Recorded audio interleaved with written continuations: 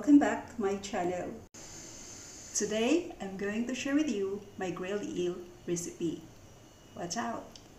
Pero bago yan, magpapasalamat po muna ako sa lahat ng nag-subscribe sa aking channel. Kung hindi ka pa nag-subscribe, subscribe na. Aasahan ko yan ha. Nandito ako ngayon sa palengke ng live eel. So ito po ang ating ingredients. Live eel,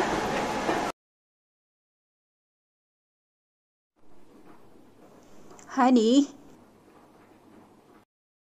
lemon, salt, and black pepper.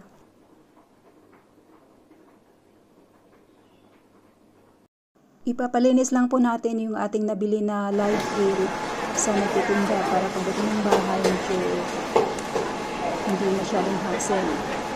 128 po per copy. So, kung natin yung buong half, yung bandang ulo, it cost around $136.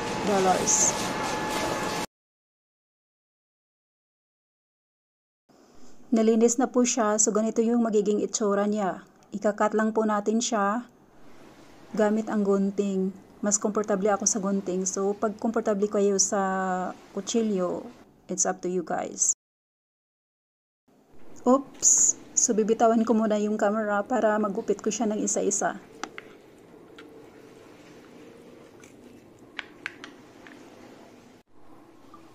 Ayan po, nagupit na po natin lahat. Ipapat-dry lang po natin para mawawala yung mga excess waters niya.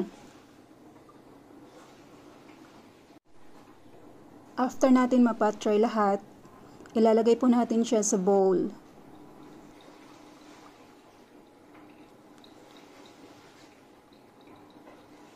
Imamarinate na po natin ang ating nahiwang eel.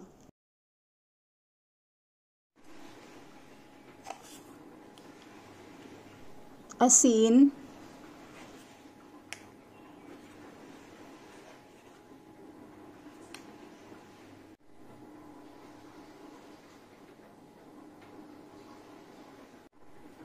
honey,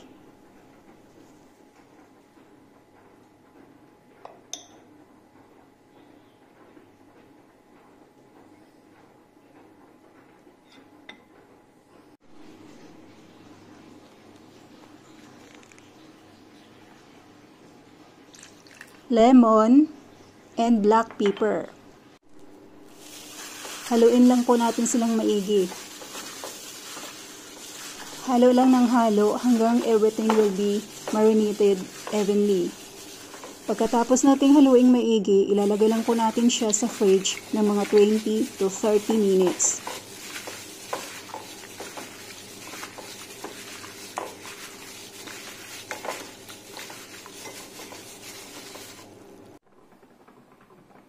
Bago natin painitin ang ating machine, tanggalin muna natin yung bakal. Gumagamit ako ng 280 degrees. Wait lang po nating magbago ang kulay ng ating ihawan.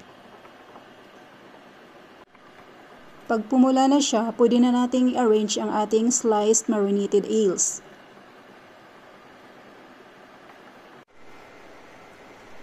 To maintain the freshness of the eel, we're just going to grill it within 2 to 3 minutes per side.